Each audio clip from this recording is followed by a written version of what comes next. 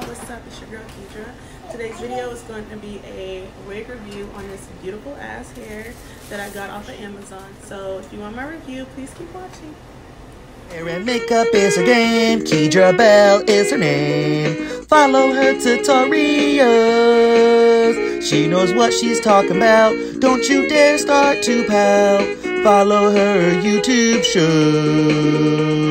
Subscribe, comment, make sure you hit follow. Makeup guru, always got your back. I was impatient. I went ahead and unwrapped the hair. This hair is so soft. Like, this hair feels like when you blow out your natural hair.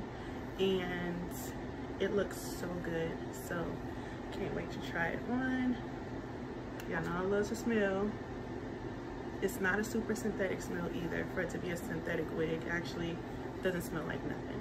But y'all look here's the comb. Here's the little um, velcro. Got a comb up here and a comb back there. We about to see what's up y'all. So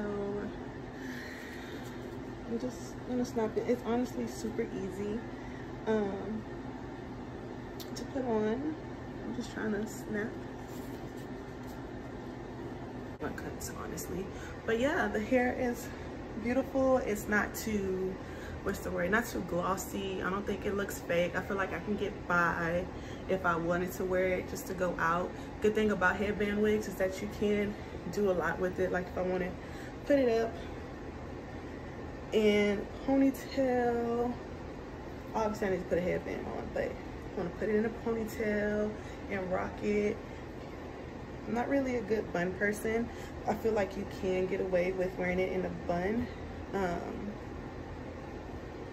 yeah, I can't do the hot buns yet. I'm not there yet. But hey guys, so that's my review on this hair. I will definitely be purchasing again because I definitely could see this as a awesome protective style, especially me trying to avoid putting so much heat on my hair during the summer. So yeah, if you like this video, please like and subscribe. Thanks for watching.